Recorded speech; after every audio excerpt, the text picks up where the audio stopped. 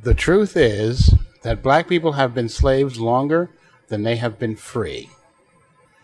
The first slaves arrived to the New World, the Jamestown colony, in 1619 and the Emancipation Proclamation wasn't signed until 1863, which was 240 something years. From 1863 to 1964, that's when the Civil Rights Bill was signed, was just a mere 101 years. And then from 1964 to this current day has only been 52 years. So that is why race is still an issue.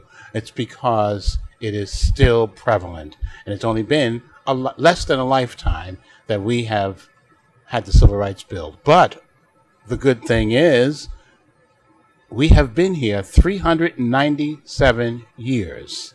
And in 397 years, we arrived as slaves. We have an outgoing black American president.